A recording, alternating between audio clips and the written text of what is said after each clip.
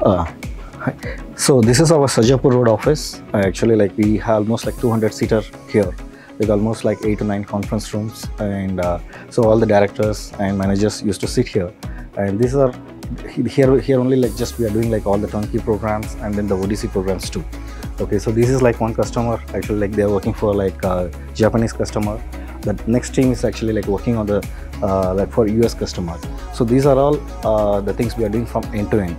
So these both the teams actually will do like kind of end to end from like uh, synthesis to all the way to GDS2. Um, from top level to like partition level, all the sign off including like ST or PV or like IR drop, LEC and VCLP.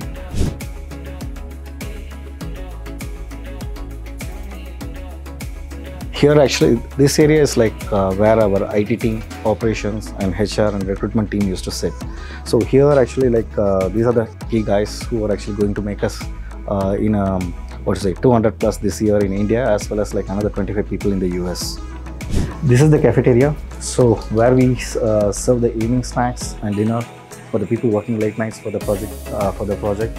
Also, we celebrate like our uh, monthly bash and birthday parties. All things here only.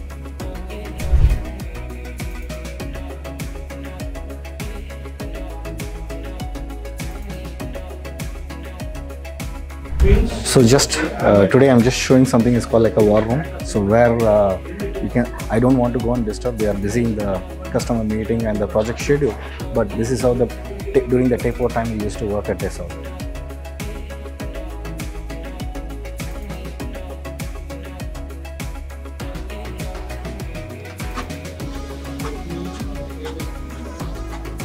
What's going on? Hmm? They're starting their starting the runs. Okay, good. Let me know if there is any help required. Hmm. So in this facility, we have like a small office, uh, like for the customer meetings and everything to happen. We have a small uh, conference room here, and uh, so this this is like one play area